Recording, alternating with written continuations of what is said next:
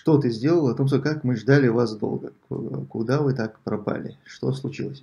Нет, все нормально, в принципе, ничего не случилось, но были некоторые причины. Сколько тебе заплатил Салах Межиев, чтобы ты пропустил эфиры? Он мне заплатил э, в индийских рупиях. Тумсо, ассаламу алейкум. Брат, страдаю игровой зависимостью. Все деньги сливаю в казино. Не знаю, что с собой делать. Всегда срываюсь. Хочу услышать твой совет.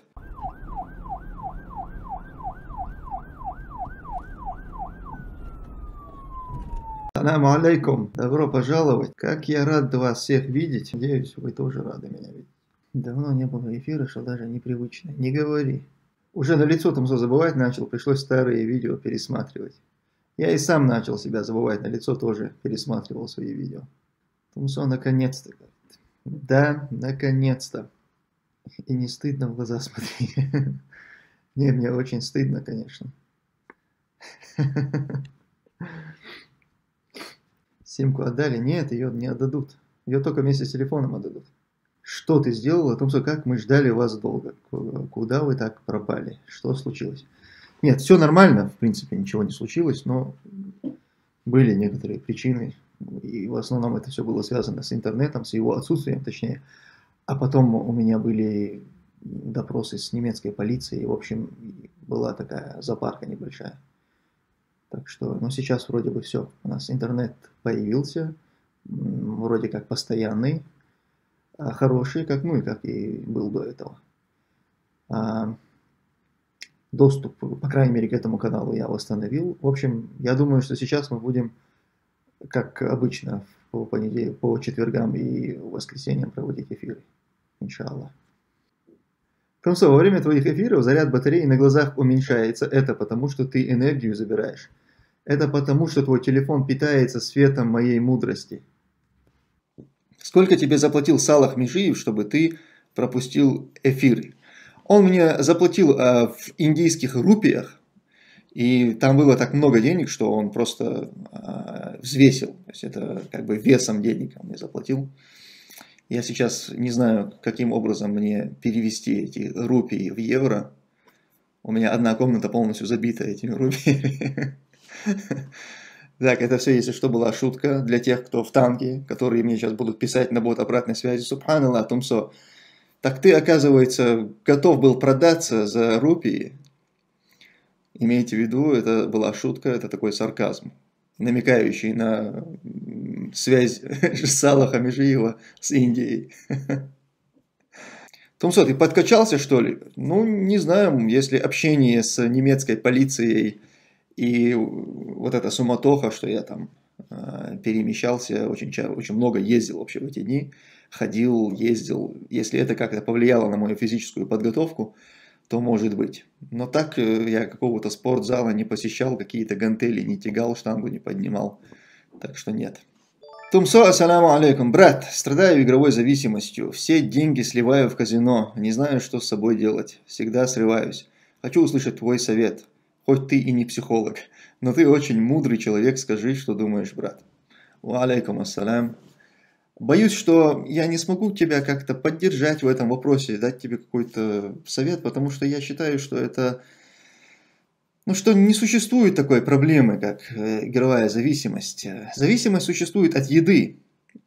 Без еды ты как бы умираешь. Вот это зависимость.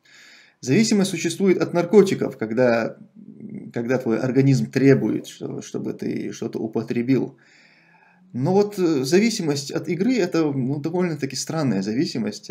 Это как, знаете, э, как сказать, там, у меня вот э, зависимость от э, того, чтобы ходить в, в какой-то парк, вот именно в этот парк. Это очень странная, в общем, вещь. Я думаю, что тебе просто нужно в какой-то момент сказать себе, все, я как бы завязываю, я больше не пойду туда. Это то, что запретил Всевышний Аллах, это азартные игры, к которым нельзя вообще приближаться. И все, вопрос закрыт.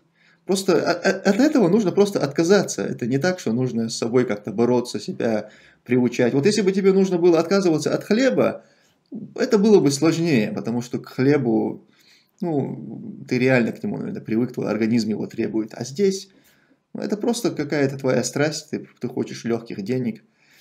А, но сама эта система казино, азартных игр, она построена таким образом, что выигрывают только они. Ты не можешь там, ты да, есть, конечно, случаи, когда люди выигрывали, но если ты посмотришь на их жизненный путь, ты увидишь, что они больше всегда проигрывают, чем выигрывают. Так что просто забей на это. Так себе из меня психолог, да? Хорошо, что я не психолог. Игровая зависимость совсем не странна. То же самое, что интернет-зависимость, зависимость от телефона. Неправда. Э, когда ты попадаешь в одиночную камеру, ты понимаешь, что у тебя нет никакой зависимости от телефона, от интернета.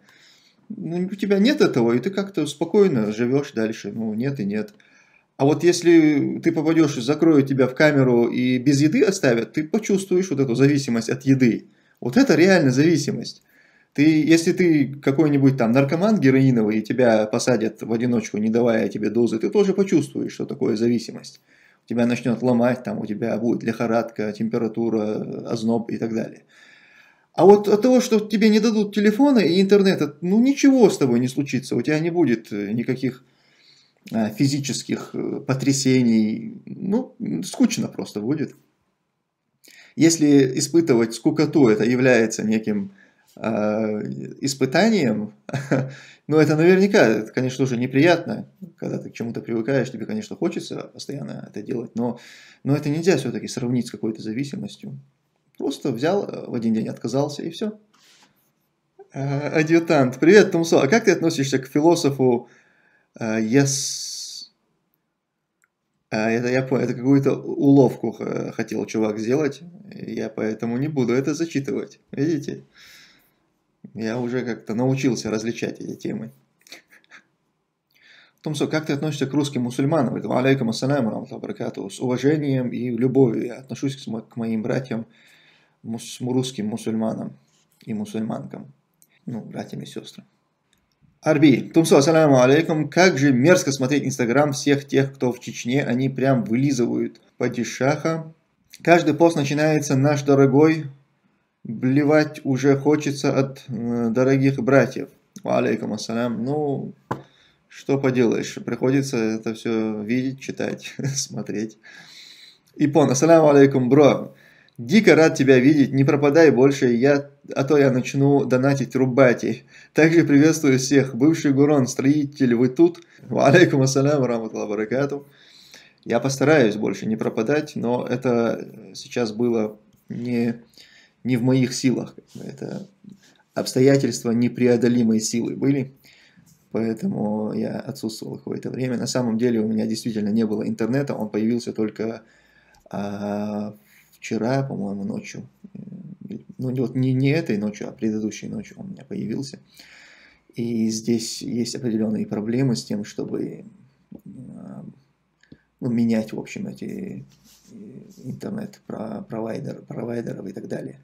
А, ну, это, наверное, не проблема в жизни обычного шведа а, или европейца, но это проблема, когда ты человек, не имеющий статус, да еще и вынужденный скрываться.